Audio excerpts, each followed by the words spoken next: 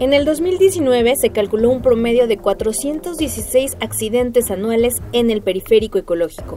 En ese entonces se dio a conocer que aproximadamente 9.42 personas murieron en choques sobre esta vialidad. Esto según la Secretaría de Seguridad Pública. Dos años después, la dependencia informó que en el 2021 cada ocho horas se registraba un accidente vial, siendo los choques por alcance, producidos por exceso de velocidad, la principal causa, por lo que durante este año fueron un total de 1.071 percances en los que se contabilizaron 1.330 vehículos involucrados y 128 personas lesionadas.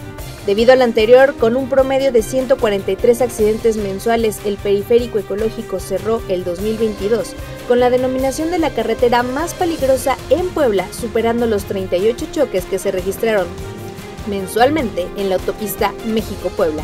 Esto de acuerdo a la Plataforma Nacional de Transparencia. Finalmente, en el 2023, el titular de la Secretaría de Seguridad Pública, Daniel Iván Cruz Luna, dio a conocer que el número de accidentes en esta vialidad está fuera de control y las muertes por accidentes también. Sin embargo, señaló que el consumo de bebidas alcohólicas no es el principal motivo de accidentes. Los que normalmente no la respetan son los que viven en Puebla, son poblanos, y tienen emplacados sus vehículos que en otros estados, puntualmente Tlaxcala, Morelos.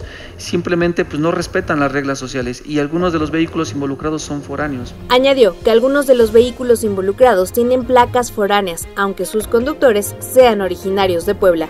Finalmente, aceptó que esta vialidad representa un problema. Para Mega Noticias, Desiree Gil.